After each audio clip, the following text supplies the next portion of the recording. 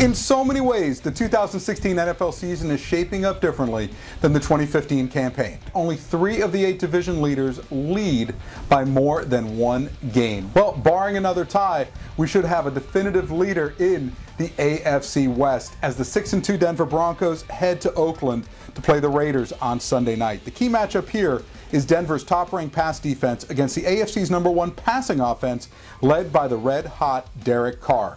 Give me the Raiders in a coming of age victory that puts Oakland at 7 and 2. After being written off for dead, Miami and the New York Jets have each won two straight games. But Gang Green hasn't had to face a running back as hot as Miami's Jay Ajayi. He became only the fourth player in NFL history to post back to back 200 yard rushing games. Ajayi won't be going 3 for 3, but the Dolphins will improve to 4 and 4 by winning at home. With Dallas coming off a big Sunday night victory over Philadelphia, this week's matchup against Cleveland has all the makings of a trap game. I still expect the Cowboys to win, but don't be surprised if this meeting is closer than the 7.5 point spread would indicate. It's a fairly simple forecast for Pittsburgh versus Baltimore. If Ben Roethlisberger returns from a knee injury, the Steelers win. If the quarterback is out another week, Pittsburgh loses. I'll hedge that Big Ben plays and Pittsburgh remains atop the AFC North. Jacksonville has changed offensive coordinators amid a 2 5 start it doesn't matter. Kansas City's defense will force at least two more Blake Bortles turnovers in a decisive home win. Minnesota has lost two straight games after a 5 0 start, but remains undefeated at home. The Vikings are going to stay that way by improving to 4 0 at US Bank Stadium. Los Angeles enters Sunday's home game with the clock ticking on Case Keenum's days as the Rams starting quarterback.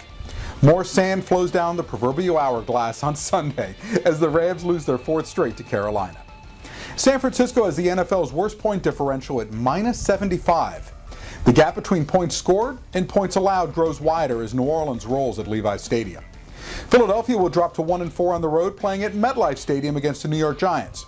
Indianapolis quarterback Andrew Luck has gotten sacked an NFL high 31 times. More hits are coming Sunday as Green Bay's defense rebounds from a shaky showing against Atlanta. San Diego has beaten Tennessee in 8 of the past 9 matchups. Make it 9 out of 10 Sunday at Qualcomm Stadium.